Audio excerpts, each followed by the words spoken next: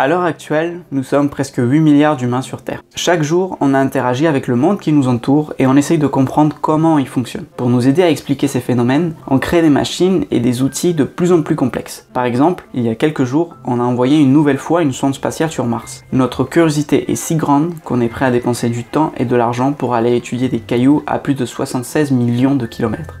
Il existe aussi une extraordinaire machine que notre curiosité a trop tendance à oublier. C'est vraiment dommage car pour nous, les humains, elle est primordiale pour comprendre le monde qui nous entoure. Je parle bien entendu de notre cerveau, de notre système nerveux. Cet appareil biologique est à la base de notre identité, de notre personnalité. Elle nous permet de réfléchir, d'apprendre et d'oublier. Elle déclenche en nous des sensations et des émotions tellement fortes qu'elle peut nous rendre heureux, en colère, tristes, complètement amoureux. Elle nous donne les moyens de travailler en groupe, de former des communautés, de s'unir pour une cause commune. Cette machine renferme aussi cette mystérieuse recette de la créativité, qui nous aide à construire des belles choses et à innover. Elle nous permet de rêver et d'imaginer, d'imaginer le monde de demain. Sans elle, nous ne sommes rien, et sans nous, elle n'est rien. Cette parfaite symbiose existe en chacun de nous, mais on ne lui accorde pas assez de temps pour bien la comprendre et l'apprécier. En fin de compte, ne serait-il pas plus facile de comprendre le monde qui nous entoure si nous arrivons d'abord à nous comprendre nous-mêmes?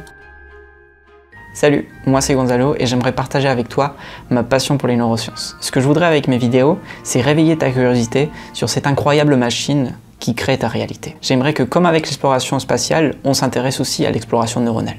Tu peux me suivre sur Instagram, Twitter, Facebook et t'abonner à ma chaîne Drop of Curiosity. A très bientôt